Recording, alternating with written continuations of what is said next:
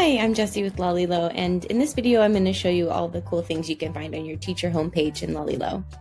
First thing you're going to want to do is log in. Just click on I'm a teacher, and then you'll be taken to your teacher homepage. There's a lot of cool things on this page that you can uh, use to help you get started with Lalilo. So first of all, this is where you're going to find all your classes. So if you have just one class, you'll just have one, and if you have multiple classes, then you'll see all of them listed here. There's also a little um, edit icon where you can edit or delete um, a class. This is also where you can create a new class if you ever need to. Down below, you've got some excellent resources. Here you'll find some videos to help you get started.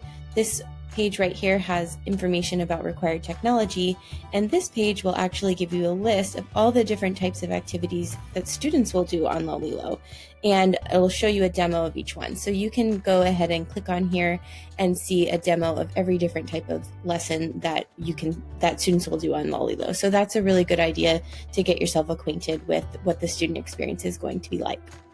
Also, here you'll find your uh, customer support chat box. So, this is a great resource for you if you are having any issues, technical issues, or questions.